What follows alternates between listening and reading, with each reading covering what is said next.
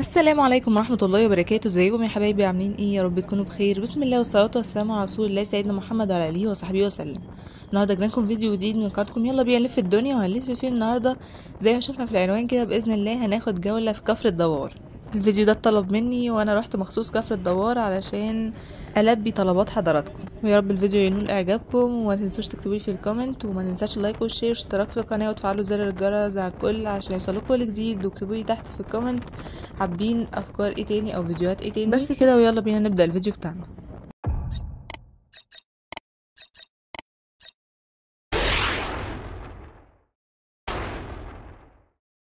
من أحلى الفيديوهات اللي بحبها واللي بتكون قريبة لقلبي اللي بيكون فيها سفر أو اكتشاف مكان جديد بالنسبة لي. لأن الإنسان فعلا بيحس إن هو يعني اتعرف على حاجات جديدة وشاف ناس مختلفة وشاف يعني ثقافات تانية وشاف منطقة جديدة. ده كله يعني بيفيد الإنسان وبيزود خبرته وبيسري معلوماته. ما ينفعش إن الناس تكون بتنزل لنا من دول تانية من دول أوروبا ومن دول الدول العربية وكل الدول اللي برا مصر. يعني مخصوص عشان تشوف مصر وتشوف حضارتها وتشوف الثقافات المختلفة فيها وتشوف الجمال والعراقة والعبق وكل الحاجات الجميلة دي. وإحنا نكون أهل مصر مش عارفين أماكن كتير فيها. طبعا الإنسان ممكن يعرف بلده بأقل القليل يعني لو حتى مرة في السنة الإنسان يخرج يكتشف محافظة جديدة منطقة جديدة في مصر ده هيكون برضو إفادة كبيرة ليه؟ واللي بقى مش قادر أو مش عارف إن هو يروح مكان جديد ممكن إن هو يبحث عنه.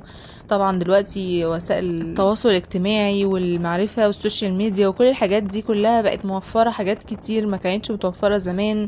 فيعني نحاول بقى نستخدمها في الحاجات المفيدة لينا. يعني السفر مش لازم يكون ساحل أو بحر أو مثلا عشان يصيف أو الكلام ده كله. لا مجرد إن إحنا نشوف مصر كلها فيها إيه. وبعدين كمان في السفر سبع فوائد. ودايما بقى في حاجة في مصر مش موجودة في حتة تانية إن دايما كل محافظة يكونوا مسميينها باسم. يعني مثلا مثلا محافظة كذا أهل الكرم محافظة كذا ده أهل مش عارف إيه كل حاجة كده بيدولها مسمى معين فلازم إن إحنا نروح حاجة حاجة ونكتشف ده بنفسنا وهل ده حقيقي ولا لأ. وأكيد طبعا حتى لو لقينا بعض أو جزء من الناس فده مش معناه تعميم يعني على الكل ولكن يعني نشوف بنفسنا الحاجات دي. كمان السفر ممكن إن هو يفتح لكم حاجات تانية وآفاق جديدة. ممكن إنسان يكتسب فكرة معينة أو يلاقي حاجة اللي كان بيبحث عنها ومش لاقيها أو يلاقي مثلا تجارة. أو عمل في سفر من سفراته اللي بيسافرها أو يعني حاجة معينة مثلا كان بيبحث عنها روح معينة حياة معينة. يلاقيها أو تتوفر الفرصة إن هو يقدر يلاقيها في المكان التاني ده. طلعنا كده من عند كارفور وال downtown من أول ما بدأنا الفيديو وفضلنا بقى ماشيين زي ما إحنا شايفين كده بقى طول الطريق بقى الزراعة والمناظر دي بتبقى تحفة جدا وعن نفسي بتحسسني بأحاسيس السفر بتاعت زمان كده لما كنا بنسافر كده وإحنا يعني وأنا صغيرة وكان بيبقى موضوع بيبقى جميل جدا. كان ده سبب من الأسباب اللي خلاني أحب السفر لما كبرت وأحب إن أنا أتعرف على أماكن جديدة ومناطق مختلفة. بسبب سفري مع أهلي زمان وأنا صغيرة في أماكن كتير مختلفة دايما يعني مش مكان معين حتى أو لازم يكون لينا فيه أهل أو كلام من هذا القبيل. لأ كانوا بيحبوا يسافروا كده مش عارفة حصل لهم إيه دلوقتي بس يعني ما علينا. أنا اللي بقيت متعذبة دلوقتي وبتحايل علشان خاطر يرضوا ويروحوا ويجوا بس الحمد لله.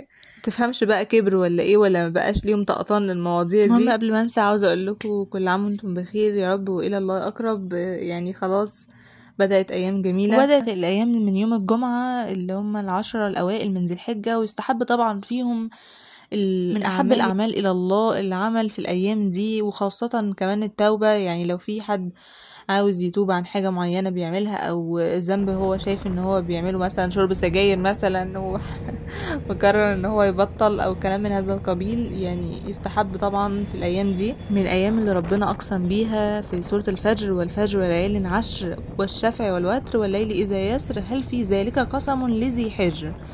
ذي حجر اللي هو يعني ذو عقل يعني. فاحنا بقى ناخد بالاعتبار كل الحاجات دي طبعا نأكد على صلاة الفجر نأكد على الأيام العشر دول. وكمان الشفع والوتر برضو من السنن المهمة جدا جدا اللي في ناس كتير بتغفل عنهم ومش بيصلوهم. واللي هو بيكون عبارة عن ثلاث ركعات بس. والتلت الأخير بقى من الليل برضو. وزي ما في حديث ابن عباس قال رسول الله صلى الله عليه وسلم ما من أيام العمل الصالح فيهن أحب إلى الله من هذه الأيام العشر. فقالوا يا رسول الله ولا الجهاد في سبيل الله؟ قال ولا الجهاد في سبيل الله إلا رجل خرج بنفسه وماله فلم يرجع من ذلك بشيء. يعني تخيلوا لما الجهاد في سبيل الله اللي هو أكبر الدرجات يكون الصيام أو العمل الصالح في الأيام دي أكبر إن شاء الله وأحب إلى الله من الجهاد في سبيل الله. كمان حديث ابن عمر ما من أيام أعظم عند ولا الله. أحب إليه من العمل فيهن. من هذه العشر. فأكثروا فيهن من التهليل والتكبير والتحميد. كلكم بقى وصيام عرفة كم تاني خالص. واللي بيكون يوم مغفرة الذنوب إن شاء الله والعتق من النار يا رب ربنا يكتبنا وإياكم من العتقاء من النار في هذا اليوم. وصيامه إن شاء الله يعني يعادل كفارة سنتين. سنة قبل وسنة بعد. إن شاء الله هدعي لكم وإنتوا كمان ما تنسوناش من صالح دعائكم كده بقى دخلنا على كفر الدوار. طبعا كان بيبقى مكتوب كده لافتة أو يافطة يعني. مكتوب عليها محافظة البحيرة تصحبكم السلامة. كفر الدوار بتبعد حوالي 30 كيلو متر عن اسكندرية شرق اسكندرية يعني. وطبعا هي واحدة من المدن اللي في محافظة البحيرة. كمان هي واحدة من المدن المهمة جدا في دلتا مصر. واللي بتكون مشهورة بصناعة الغزل والنسيج. وطبعا بيكون فيها أكبر الشركات المسؤولة عن الموضوع ده واللي هي شركة مصر للغزل والنسيج. واللي بتكون في المرتبة الثانية بعد شركة مصر للغزل والنسيج اللي في المحلة الكبرى. كمان في أربع شركات كبار في المدينة غير الغزل والنسيج. شركة للكيماويات شركة للصباغة والطلاء شركة لألياف الحرير وشركة لتغليف وتعبئة الفواكه. بإذن الله هنشوف في الفيديو شوارع وحواري وأهم المناطق. هنشوف كمان الملابس والأزياء هناك. كمان هنشوف الأسعار هناك علشان تقدروا تحكموا بقى هل الأسعار غالية أو مش غالية. طبعا على وش الشارع بتكون الابراج العالية الفخمة اللي إحنا شايفينها. أما بقى في الحواري من جوه بيكون البيوت اللي هي ريفية أو البيوت اللي بتكون دورين ثلاثة كده. كده بقى ده شارع الجيش في كفر الدوار. هنفضل ماشيين كده شوية في طريق الجيش ونبدأ نخرم منه بقى وندخل على شارع أو منطقة بوليس يعني وبقى مدافن أو تراب بوليس. ومنها بقى ندخل على شارع الجلاء. وشارع الجلاء من الشوارع المشهورة هناك. مش بس كده بقى ما شاء الله قادر إلا بالله اللهم بارك الشارع مليان حلويات يعني ملابس نلاقي حاجات اكسسوارات وحاجات تانية كتير يعني زي كده منشية على صغير كده عندنا وبقى الناس نازلة عشان تشتري لبس العيد بقى للأولاد والكلام ده كله دخلنا كده بقى شارع بوليس أو منطقة بوليس من الحواري أو الأحياء البسيطة كده في المكان عائلات بقى وكل حد عنده البيت بتاعه زي ما إحنا شايفين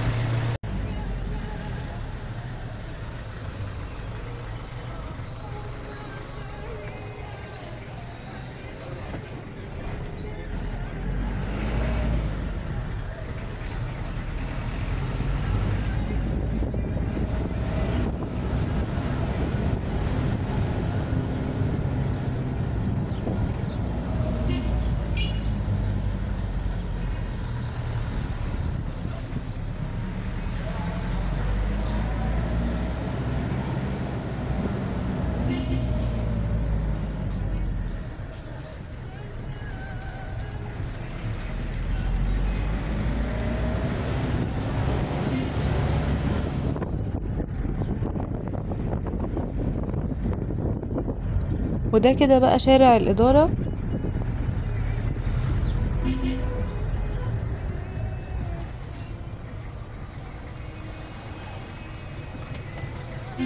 والشارع اللي على شمالنا ده بيكون فيه موقف دمنهور تقدروا تركبوا منه أي حاجة بقى بإذن الله.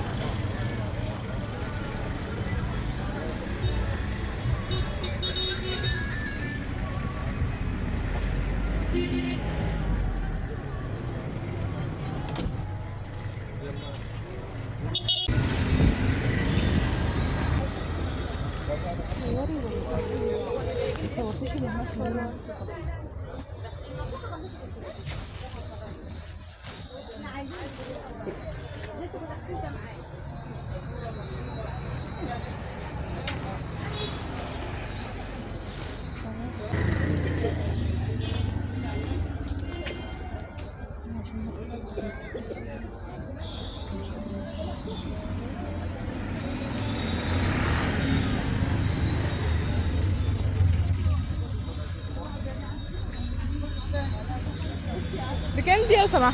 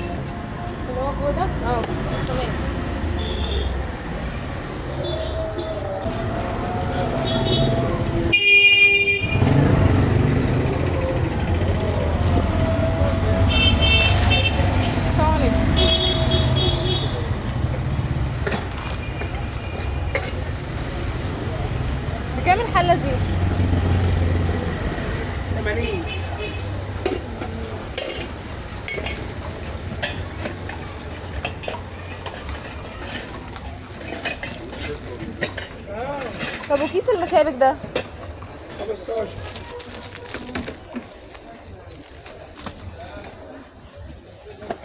Meu, bem...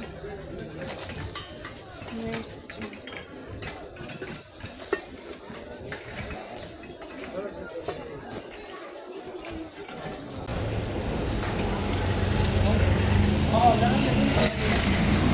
Quero também. Quero também.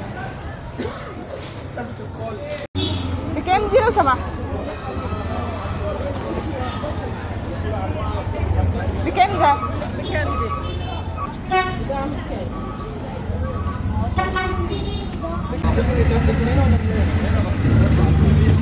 you.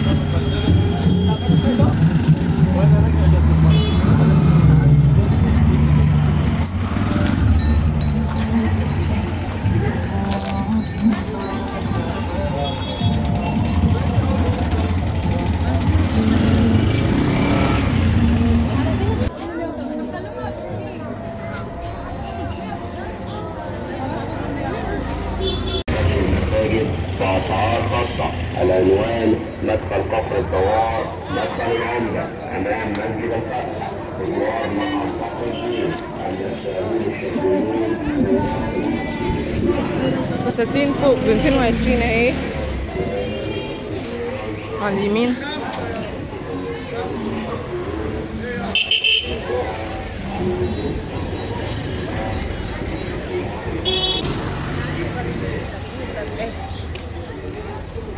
مية خمسة وعشرين.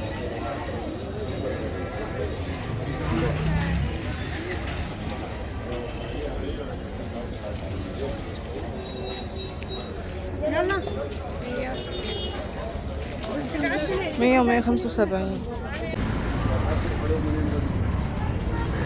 بكام الدفاية؟ آه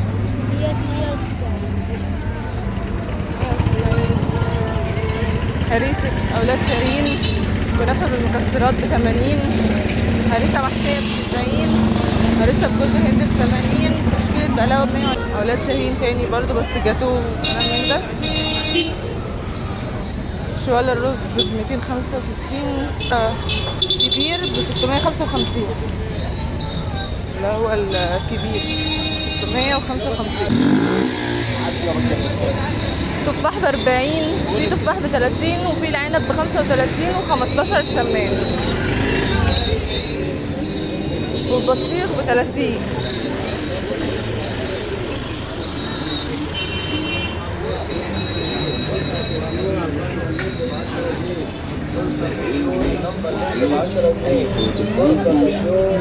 الحق العرض قبل ما يخلص.